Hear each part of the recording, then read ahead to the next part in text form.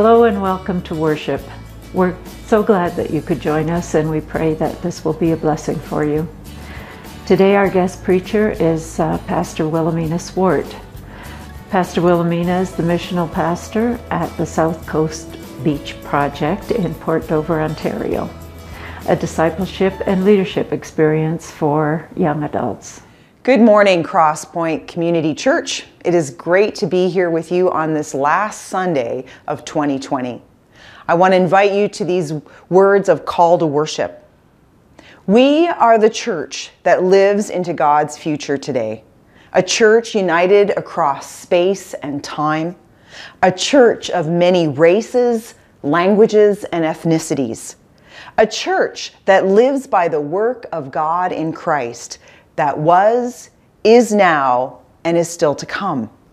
The one who is seated on the throne says to us, See, I am making all things new. A new heaven and a new earth where the home of God is among God's people.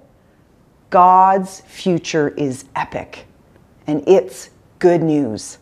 Remember God's future, for this is our story and hear these words of God's greeting Grace and peace to you from him who is, and who was, and who is to come, and from the seven spirits before his throne, and from Jesus Christ, who is the faithful witness, the firstborn from the dead, and the ruler of the kings of the earth. Amen.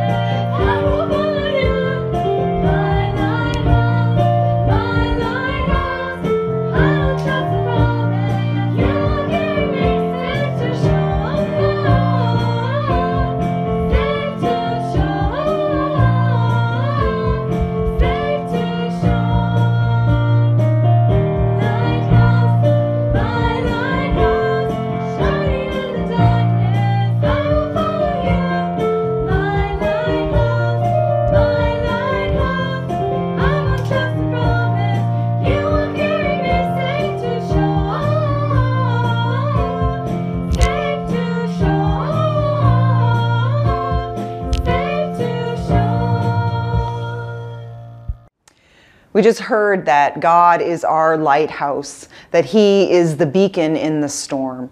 And that's such good news. And He is a good God, so we can come to Him in a time of confession where He sheds His light on us, not to condemn us, but to transform us. So I invite you into this time of prayer of confession and also to hear the words of assurance. Through the work of Jesus Christ, we belong to Him. Through Jesus' work on the cross, God gave us a new name. Let us discover anew and accept with new assurance that we are who God says we are holy and redeemed people who belong to Him. Thank you, our Father, for changing our name. We shall no longer be called wounded, outcast, lonely, afraid. Our new name shall be the holy people, the redeemed of the Lord, sought after the city no longer deserted. People of God, let us take up our new name with confidence to live this coming year as the people of God we are called to be. May others seek God's face because of us this coming year. Amen. We believe that everything we have comes from God, and we take time each week to give some back. We do this by supporting the ministries of Crosspoint Community Church. The deacons have also asked us to remember the work of Resonate Global Missions, an agency that brings the gospel of Christ in many countries around the world and in Canada. Let's bring our thanks and concerns to God in prayer. Gracious God, our Father and King, we pre- you prepared the way for the coming of your Son Jesus and this past week, we were able to celebrate his birth. It may have been a bit different this year with no big family gatherings, but thank you for reminding us that even when the circumstances are different and not what we consider normal, that doesn't change the fact that Jesus came as a baby and became our Savior and King. Lord, we look back today on a very unsettling year Many have gotten very sick with coronavirus and many have died. Lord, when we look at the numbers of COVID cases, let us remember that numbers represent people. We pray for those who are sick, not just with COVID, but all who need your healing. Be with them, Lord, and with those who care for them doctors, nurses, paramedics, and caregivers.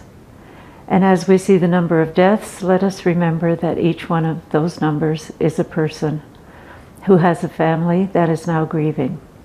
We pray for those who are grieving and we ask that you give them comfort and peace.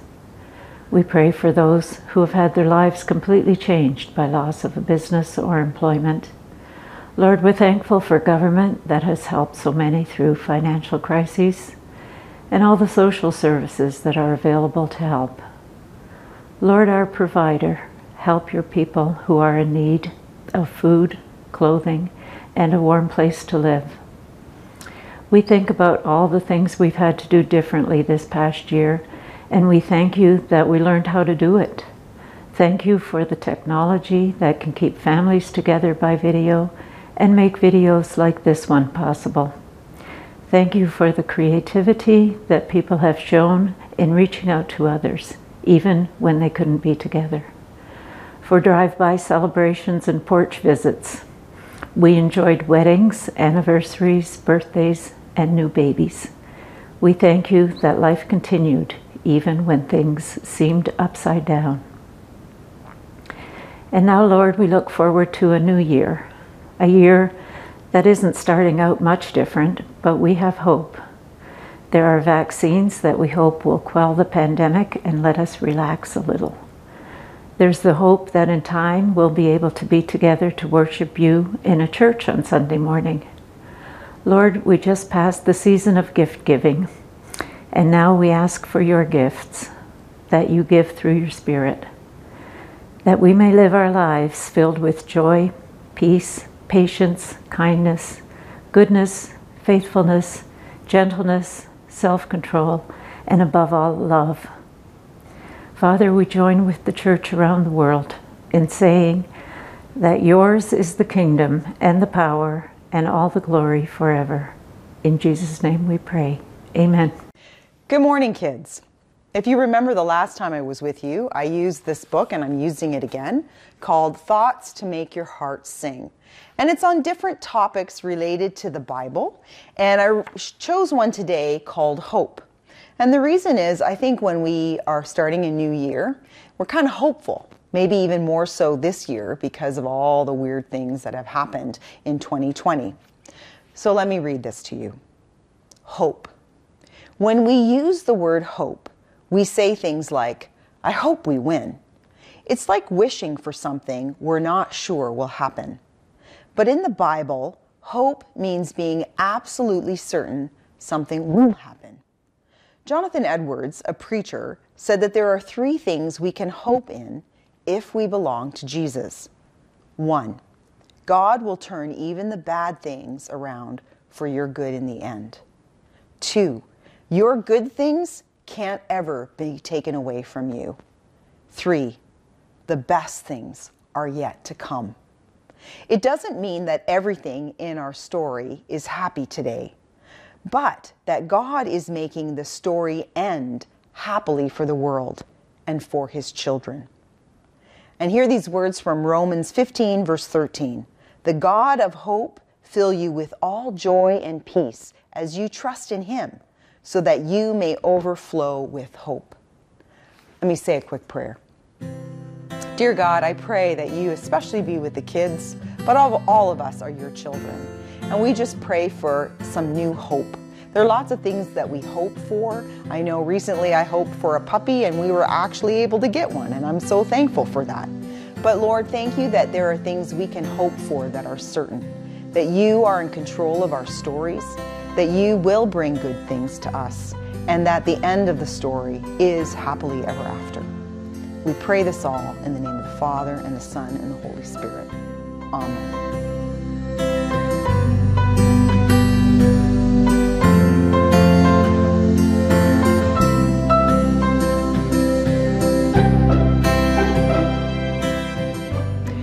We are on the edge of stepping into a new year.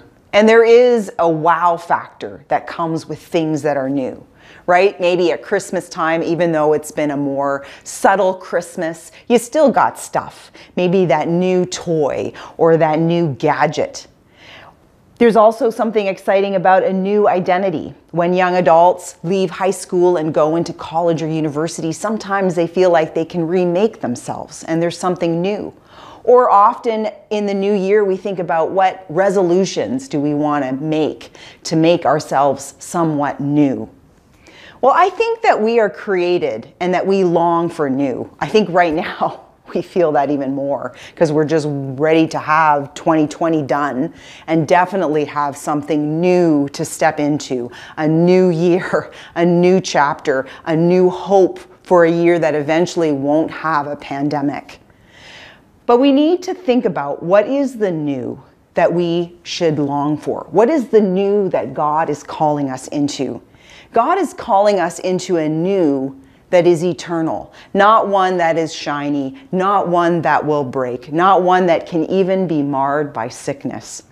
The new that satiates our heart's longing, the new that is right and good, and the new that is ultimately of and from God.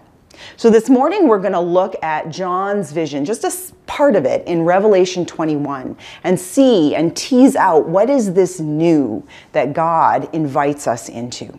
I invite you to turn with me to Revelation 21, 1 through 5. The word of the Lord.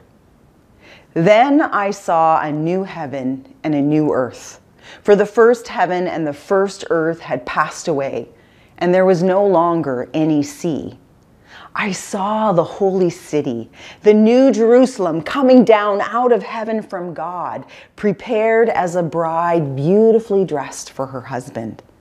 And I heard a loud voice from the throne saying, Look, God's dwelling place is now among the people, and he will dwell with them.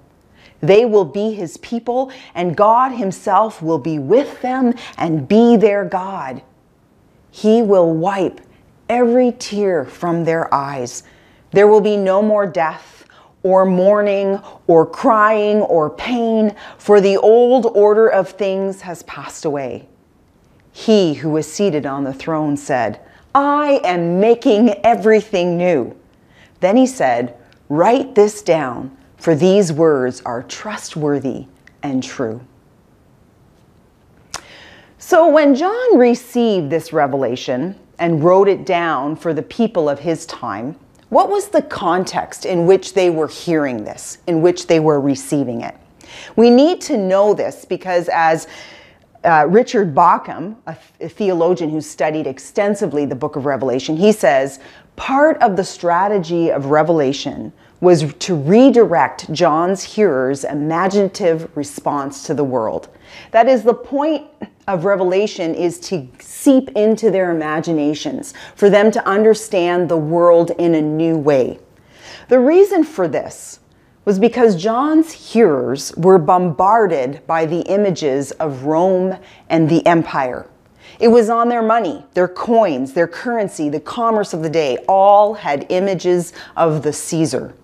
The temples, and at that time, the temples were increasing in emperor worship, and they were all around, and everybody went to them. The soldiers and armies, of course, of Rome were everywhere trying to keep the peace of Rome. And at this time, there was a bit of a legend or a story about the miracle of Rome. You see, Rome had almost fallen to ruin in 69 AD, which was at the end of Nero's rule. You know, and, and maybe hard for us to understand, but it would be like one of the superpowers now. If we thought the US or China were suddenly to crumble, that's the type of fear that was around the potential crumble of Rome. But what had happened was two generals became emperor and they saved Rome. And it was seen and told as a miracle story. So much so that it was built up that this was an eternal empire with everlasting cities. So these were the stories. This was the imaginative world in which John hearers were living. Now, think about the Christian context. They had just sustained one major wave of persecution. Nero, who had previously been emperor, had been horrible to the Christians. We know some of the historical stories of Nero even using Christians as torches for his parties. But now there was a second wave of persecution. And it was all centered on this emperor worship. These emperors were seen as the miracle workers. So why wouldn't they worship them? In fact, people were expected to have a document of sacrifice. And this document was a proof that people were worshiping the emperor. So you can imagine this was very difficult for Christians.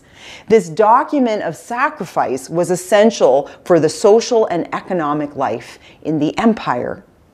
So these Christians that John was pastoring even from afar on the island of Patmos, they were being fed major propaganda about Rome. And so they were in desperate need of an alternative image of reality. They needed a picture of something new. They needed something new that would sustain their hope, something new that would be more substantial, more glorious than even the miracle of Rome. Well, we too are in, well, we're in a very strange time in history, what with uh, the pandemic and wondering about the reality of 2021. Many things that we held as normal and stable got suddenly shifted last March and, and made us wonder about our reality and what is the story we're living in let alone just the story of consumerism and economic progress that we have, I think, are seeing now a little bit differently because of the pandemic. And, and all these messages that we still get that, that we're supposed to be new, that we're supposed to be productive, that we're supposed to be young, that we should have a life of leisure. We too are being fed all kinds of stories from the empire and the culture in which we live. So, how do we clear our heads of the propaganda of our time? How, how do we step into a different story and a different kingdom imagination? Just like those first century Christians, we need a robust and glorious picture of something new. Maybe even more so now as we end 2020. We need something new that will shape and sustain our hope. We need something new that is more glorious and substantial because of God and of His Christ. And if you listen to this passage that we just read, John's vision that he received, of course, from God is bursting with new. It's bursting with newness. The Greek word kainos is means superior to what was, better than. That's the word that we translate to new. And what's interesting here is that this idea of kainos or newness is not a destruction of the old. It's rather a transformation of what was to something new, something superior, something better than. And that's the primary point of transit transformation. When God's presence um, infects a place, impacts someone or a reality, it takes what was and makes it into something better, something more than. God, we know, restores the whole relationship with all of creation. That's the vision we're getting here. Eugene Peterson says this is not an ending, rather, it's a fresh beginning. So, all that is new in Revelation. Let's look at all of the new things that John sees and hears in this passage. First, we're introduced to a new heaven and a new earth. That's like, uh, that's all encompassing. So the idea is like when I say, oh, you know, it's from A to Z, I mean the whole thing. So when we say from the new heaven and the new earth, it means everything and everything in between those things. So this newness is all encompassing. Furthermore, it would have hearkened back to the first heaven and the first earth, right? which makes us think of Genesis. Again, Eugene Peterson says the sin ruined creation of Genesis is restored in the sacrifice renewed creation of Revelation. So there's this continuity back to Genesis bringing us here in Revelation. So a new heaven and a new earth. There's also this new aspect. We're told there is no sea. Now, as most of you know, I live in Port Dover. And one of the things I love about living in Port Dover is the water, that we're right by the lake. And so I know for some people, when they hear this passage and think, well, there's no sea, I'm not sure I want to be part of this new reality. But again, this is symbolic language. The sea is always changing right? I know when we go boating on Lake Erie, Kelly's always very careful because the lake can change just like that.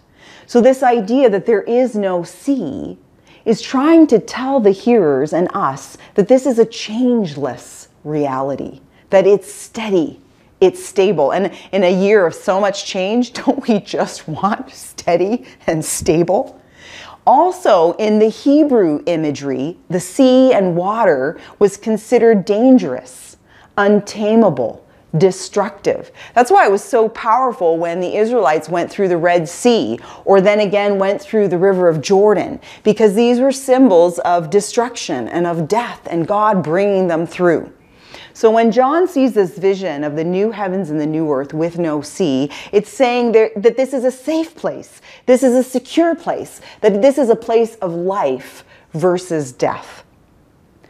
Then we're also told about the new Jerusalem. I don't know, for some of you who are my age and older, it probably makes you think of that old hymn of the New Jerusalem, that majestic hymn, right? Well, this New Jerusalem, we're told, descends, comes down to earth, not vice versa. That, that the New Jerusalem comes to us. And this shows us that it's all God's initiative, that He brings the new to us.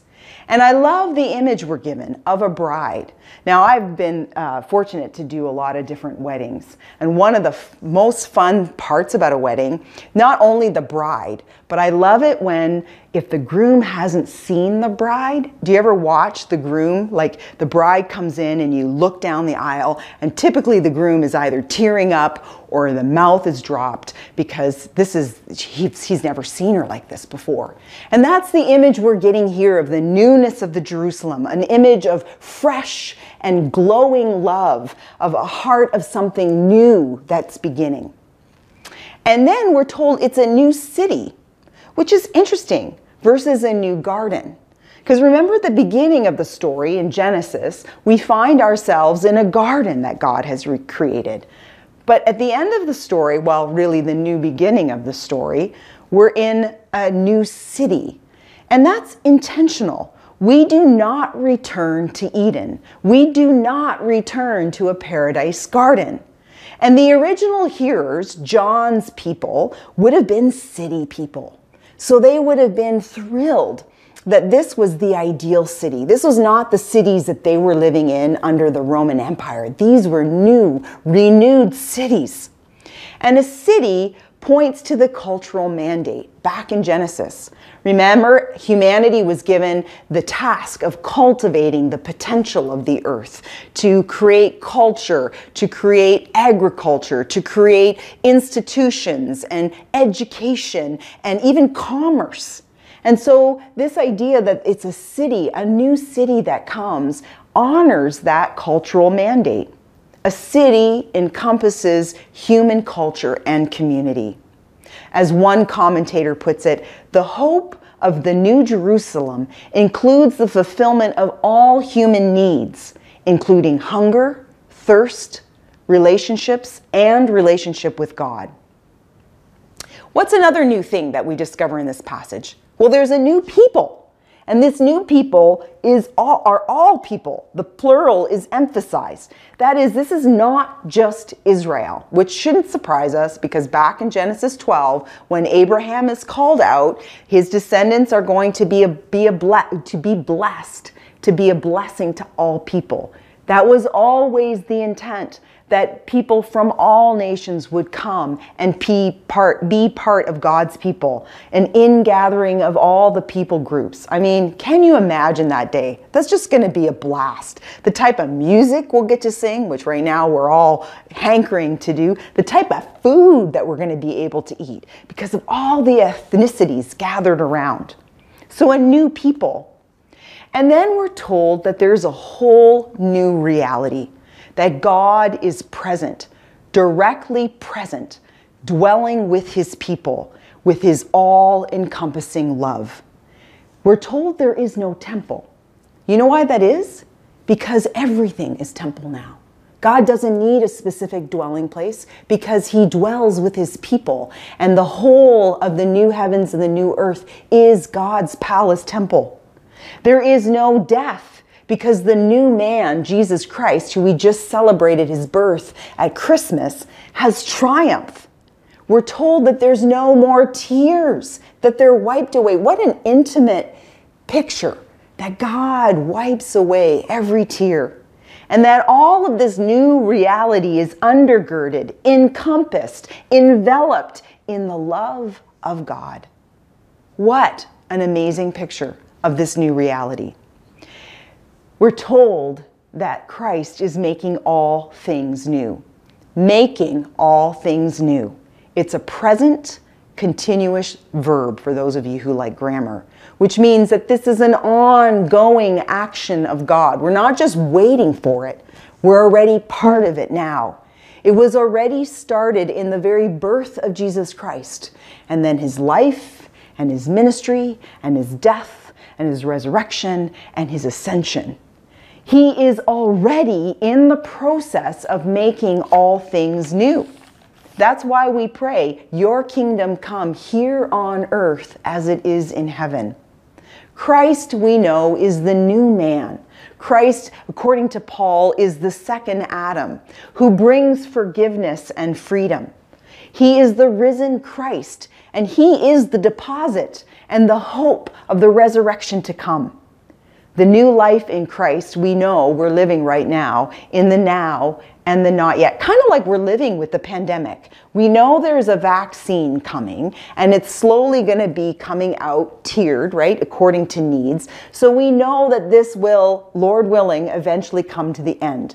But right now we've just heard of a new lockdown uh, in the province and, and it feels like, is it really coming?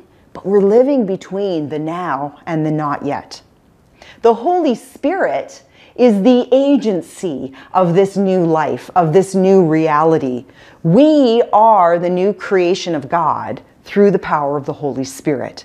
God, through His Spirit, breathes His life in and through us, so that the kingdom and character of Christ is being formed in us. That's the kind of new we should be seeking out and pursuing. And the church. The church, as much as the church sometimes can drive us a little crazy, the church is the new community of Christ. It's the beginning of God's outworking of his new creation. So, friends, we're called to be ambassadors and signposts of his renewal, empowered to live transformed lives.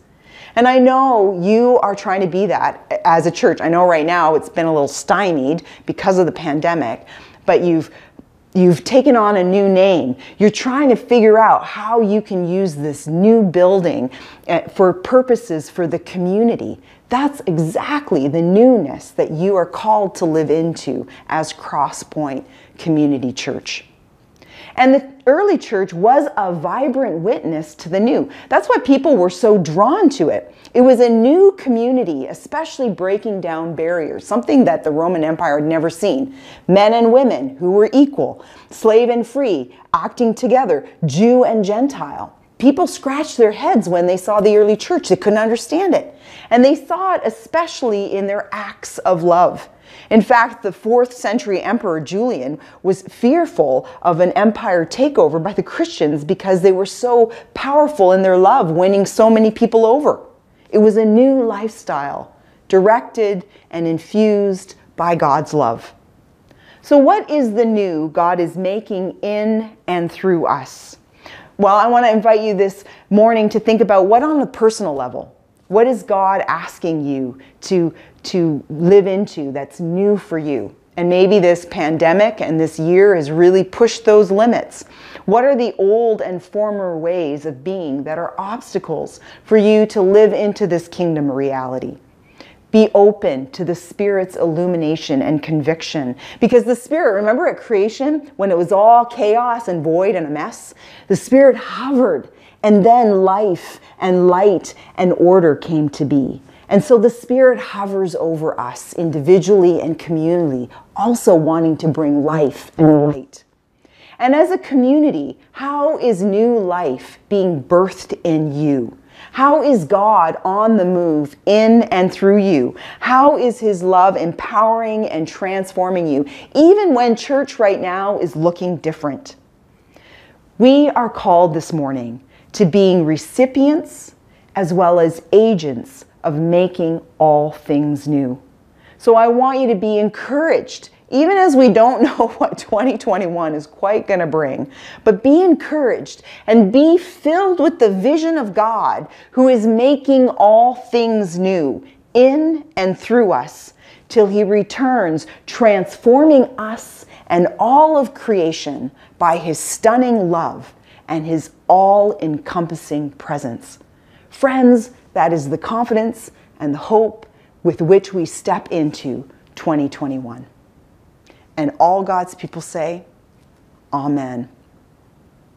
Let's take a moment now and pray because I think we really need God to come in and give us this vision in this time. Oh, Holy God, we thank you for this amazing vision that you gave to John and that you are now giving to us. You know that this has been an incredibly strange and hard year. And we are so feeling in that space of the now and the not yet, knowing that the vaccinations are coming, which seems like it will eventually open us up back to life as we knew it. But at the same time, we're not there yet. In fact, we're on a, on a month long lockdown here in Ontario. May, Lord, we live into that experience because that's the experience of your story. We are living in the now and the not yet. We know Jesus came. We celebrated his birth. We know that he is victorious, sitting on the throne. And so we have hope and confidence. But we also aren't there yet. And so we're still dealing with tears tears of mourning and of grief and of death and of struggle. So, Lord, infuse our imaginations with this vision of Jesus Christ claiming that he is making all things new. Right now, even now, may your kingdom come here on earth as it is in heaven. We pray this all in the name of the Father, and of the Son, and of the Holy Spirit. Amen.